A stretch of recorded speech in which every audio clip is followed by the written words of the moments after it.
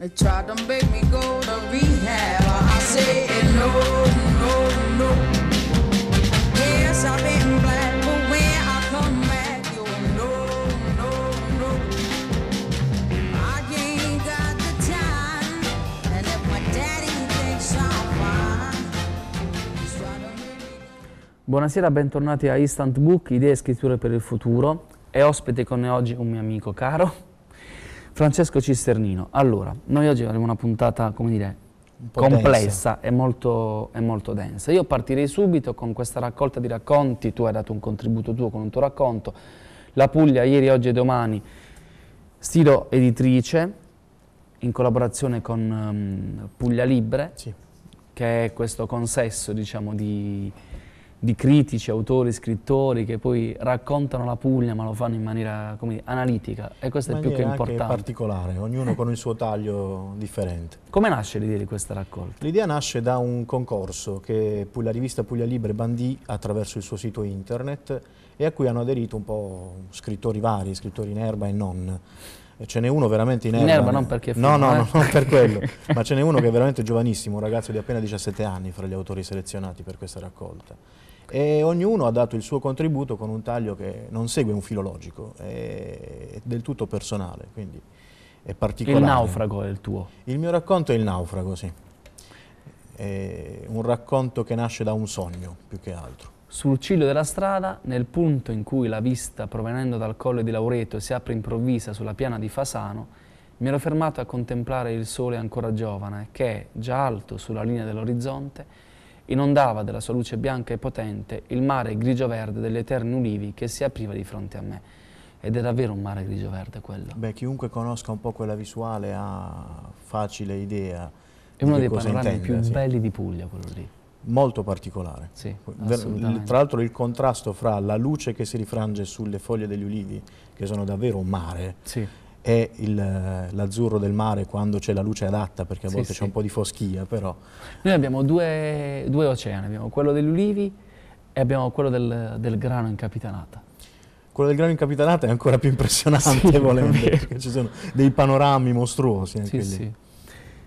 Quindi una raccolta di racconti. Vanno i racconti? Questa è una domanda che io faccio agli, Ah, è agli una autori che vengono qui. mh, buona, diciamo che posso anche giocare un po' in casa perché ho pubblicato tempo fa un'altra piccola raccolta di racconti con un altro editore di Roma, Il Filo, e eh, già sapevo all'epoca che i racconti in Italia sono un genere abbastanza Sì, abbandonato dalle grandi abbandonato, editrici. sì, perché non di- si dice che non abbia mercato. Io da lettore dico che quando mi capita una buona raccolta di racconti me la compro volentieri, per cui non so fino a che punto sia una scelta... No, Io ti dico che mi sto spolpando i- le raccolte di racconti di Mario Rigoni Stern, Ecco. che sono uscite recentemente con, con Einaudi. Invogliamo un po' gli editori a, a pubblicare certo, racconti. io ricordo una cosa, qualche anno fa, abbiamo più o meno la stessa età, quindi ce lo ricorderemo entrambi, uscirono i famosi 100 pagine, 1000 lire, Sì, in cui era a volte facile Strepitosa trovare raccolte, tipo li- tutti i racconti di Edgar Allan Poe, Sì. tutti i racconti di Arthur vero, Conan sì, Doyle, e mi risulta che vendessero tantissimo. uh, hai voglia. Ora, non c'è bisogno certo di prendere solo i grandi autori, ma magari proprio investire sul racconto potrebbe essere un modo per far uscire Sì. gli emergenti e non sempre i soliti nomi che... C'è la, la casa editrice Due Punti Mhm. che sta chiedendo ad alcuni autori già affermati, diciamo, di scrivere piccoli, piccoli racconti, pubblica su, su carta completamente riciclata, addirittura mh, confezionata grazie a escrementi pressati di- degli animali, quindi immagino in Giappone po'. hanno fatto il cacaburger, Il cacaburger, ecco. quindi I giapponesi sono capaci di mangiare qualunque cosa, di produrre qualunque cosa. Francesco invece, allora, nel regno delle chimere, il dono della vita oltre il, il dolore, sempre con, con stilo. Questo libro è stato curato da te, è un libro di Laura Regano, che era la tua compagna e che ora non c'è più. Sì, è un libro che ehm, per me significa tanto, non solo perché è il libro che aveva scritto la mia compagna, ma anche per che sono, quelle che sono le iniziative che dietro questo libro ci, ci sono. Laura, come hai detto tu, era la mia compagna ed era una ragazza estremamente vitale, nonostante i problemi che aveva avuto. Laura a 21 anni aveva subito un trapianto di fegato per una trombosi epatica, quindi non c'è da prendersela con comportamenti sbagliati certo. o cose del Anche genere. perché ha 21 anni. Ma diciamo che può capitare, però non, non è stato il suo caso. E eh, questa esperienza ovviamente aveva del tutto modificato il suo modo di vivere e di approcciarsi alla vita. Eh, ha vissuto per dieci anni da trapiantata e nel suo libro più volte torna a pensare al donatore che le aveva permesso di vivere, eh, con parole che sono dolcissime. Lei avrebbe tanto voluto incontrare i genitori di quel donatore per potergli, per poterli guardare negli occhi e dire grazie della vita che le avevano regalato con quel gesto. E ehm, lei dal trapianto aveva cercato di ehm, trarre tutto ciò che era possibile trarre. Lei viveva appieno, si definiva non una trapiantata perché non si riduceva all'atto del trapianto, ma si Certo. definiva una persona trapiantata, che da quel momento... Ed è vero, da- è così, è profondamente è vero. Da quel momento lei ha ehm, deciso di mm, rinunciare un po' alle cose che possono sembrare semplici e normali per una ragazza di 20 anni e impegnarsi a fondo nella realtà del volontariato e non solo, lei era mm, presidentessa regionale dell'Associazione Italiana Trapiantati di, di Fegato, ATIF. di cui I- ITF, ITF. di cui adesso anch'io faccio parte e ehm, oltre a questo lei aveva dedicato la sua vita professionale anche a uno scopo, che era quello di eh, far sì che più giovani potessero specializzarsi nel settore dei trapianti, nelle varie discipline che a un, a un settore del genere fanno capo, perché non si tratta solo dell'atto chirurgico in sé, Certo. bisognerebbe migliorare tutto un complesso di, di attività, perché lei diceva... Anche far capire alla società che il, il trapiantato è un essere come gli altri. È un essere come gli altri, c'è una persona che per Laura è stata importante, che è il presidente nazionale dell'ITF, l'ingegner Carlo Maffeo di Torino, che è un vecchietto di adesso 80 anni, trapiantato da quasi 30, ehm, che eh, Vive tranquillamente. vive tranquillamente e va in giro a fare i campionati mondiali e le Olimpiadi di sport per disabili Ah.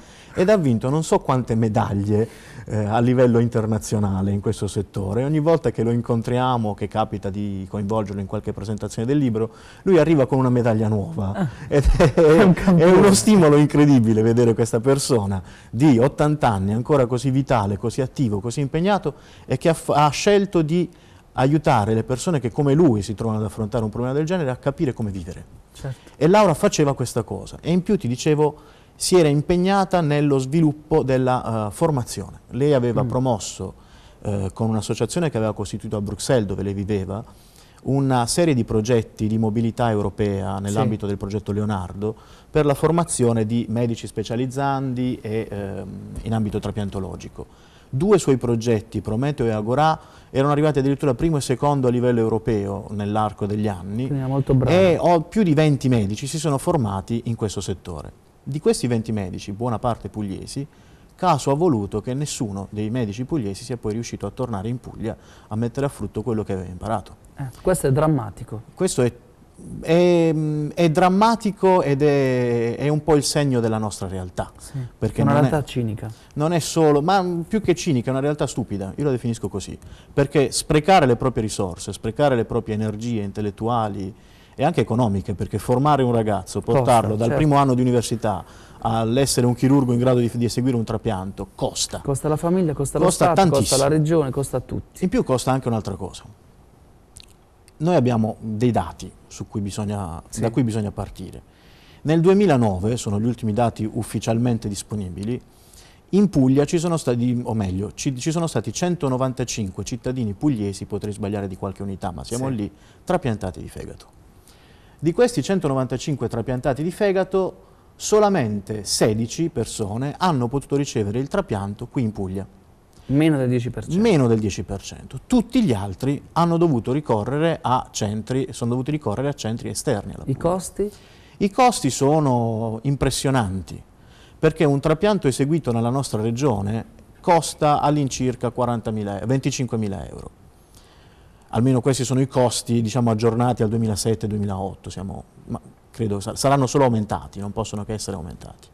Un trapianto eseguito in un'altra regione italiana costa il doppio, quindi siamo intorno ai 50.000 euro. Un trapianto eseguito in Europa, in paesi europei, perché molti italiani Vanno fuori. vanno certo. fuori quando Laura stette di nuovo male, perché Laura, questo è un passaggio che ho omesso, Laura purtroppo è morta ad aprile 2009 in attesa di un secondo trapianto di fegato e un primo periodo di ricovero lo fece proprio a Bruxelles perché Sì. viveva lì. E a fianco al suo letto c'era una signora di Andria che era a Bruxelles anche lei per un trapianto di fegato. Erano due pugliesi nello stesso Due, ospedale. su, due pugliesi nella stessa stanza, neanche nello stesso ospedale. E ehm, dicevo, costa in Europa quattro volte tanto quanto costerebbe farlo in Puglia. Quindi se 100.000 poi, euro. se poi arriviamo in America, perché a volte si ricorre addirittura a centri americani, i costi diventano esponenziali, perché poi in America c'è un sistema anche diverso dal nostro, Sì. dove un po' i costi sono meno controllabili direttamente. Sono soldi che la Regione Puglia comunque poi spende, Sì. perché i costi che il paziente sostiene per ricevere un trapianto fuori dalla nostra regione, la Puglia poi li rimborsa. Sì. Se si investisse parte di quelle risorse nel potenziamento delle strutture che abbiamo qui e nella valorizzazione delle risorse umane che abbiamo qui o che potremmo recuperare, Certo. per la Puglia si tradurrebbe Abbiamo questo- fatto tanto per far tornare i cervelli, no? Facevano tornare Abbiamo fatto bisturi. tanto a parole, Certo. posso permettermi di dire Sono d'accordissimo. perché in pratica manca tanto, manca ancora tanto. E noi abbiamo, noi come ITF intendo, abbiamo un progetto in ballo e, eh, che nasce sempre da una frase di Laura. Laura diceva, Laura fu trapiantata a Torino nel 99 Alle Molinette. alle Molinette dal professor Salizzoni. Che è il più grande centro più grande trapianti centro trapianti d'Europa, D'Europa. come numeri. Mm, viaggiano su una media di 200 trapianti l'anno. Mm, per fare un raffronto, ma che non significa mm, dare un disvalore a Bari, Sì. perché per quello che ha fa quel che può, eh, a Bari se ne fanno circa 20 l'anno, quindi 10 volte di più se ne fanno a Torino. Eh, lei fu trasportata d'urgenza da eh, San Giovanni Rotondo, dove era ricoverata Sì. per questo trombo epatico, con un aereo militare della protezione civile trasportata a Torino perché aveva bisogno immediato di un trapianto, trapianto. altrimenti sarebbe morta. E eh, lei parlando di questa sua esperienza diceva io mi sto impegnando in questo settore perché voglio che eh, quello che è capitato a me Non di essere più. presa, caricata su un aereo e portata via alla ricerca della vita non debba capitare ad altri, perché chi vive la mia situazione non può trovarsi a dover subire anche il carico ulteriore psicologico di una corsa per la vita. E eh, le risorse umane ci sono, ci sono medici chirurghi eh, anche adesso già attivi nel nostro centro di Bari in grado di eseguire trapianti. Ce ne saranno tanti altri che si sono formati anche grazie ai progetti di laurea che sono fuori e che vorrebbero tornare, ma non possono perché Che non gli viene manca? offerto. Manca una struttura che sia in grado di accogliere queste persone Sì. e di valorizzare le loro risorse. Però tu dicevi che esiste un centro trapianti Esiste un centro Bari. trapianti di Bari, e, eh, però mh, diciamo che lavora sulla sussistenza. La nostra idea, il Cioè poche progetto, risorse, poche risorse umane. poche risorse umane e anche poche risorse materiali, tutto sommato. Proprio di recente c'è stato un potenziamento della struttura mh, assistenziale chirurgica perché i letti di terapia per i trapianti da due che erano stanno passando a quattro. Sembrano numeri esigui, ma già passare da due a quattro significa raddoppiare le proprie Certo. possibilità di lavoro. Eh, quello che manca però è una ehm, reale messa in rete delle competenze, una ehm, trasformazione ed è quella a cui noi puntiamo con il progetto che stiamo promuovendo come ITF insieme a due centri importanti che sono quello del Hospital Saint-Luc di Bruxelles, Di Bruxelles. del professor Gigot e del professor Leroux e con il centro di Pisa di trapianti di fegato del professor Che è un altro certo- che è un centro altro importante. centro importantissimo. Noi abbiamo proposto e stiamo cercando di ehm, realizzare insieme a questi centri che Bari possa diventare un centro di ricerca e eh, trapiantologia in ambito delle malattie epatiche di livello mediterraneo. Mm. Per far questo ci sono possibilità infinite Anche perché nel Mediterraneo, dicevi tu, l'incidenza delle malattie epatiche è è forte. altissima. Un altro dato, mh, uno dei partner di Pisa in un progetto di ricerca che si chiama Tebera è l'Egitto. Sì. In Egitto hanno un'incidenza endemica di HCV, l'epatite C, Sì. che se non ricordo